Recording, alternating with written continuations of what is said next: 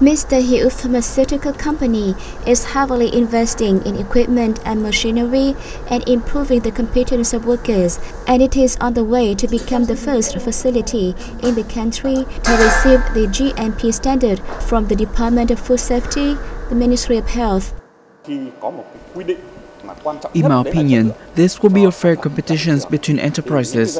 Many enterprises that properly invest in their production and are certified to GMP standard will be recognized by consumers.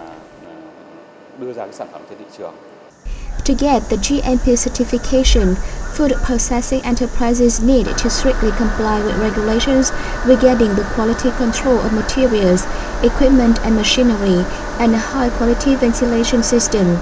Without the GMP certification, many underqualified companies will be taken off the market.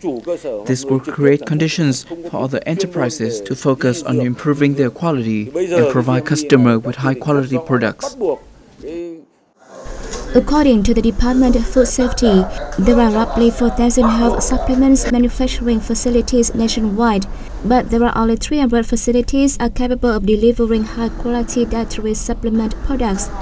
By implementing the GMP standard, the Ministry of Health hopes that it will be ensure products are consistently high quality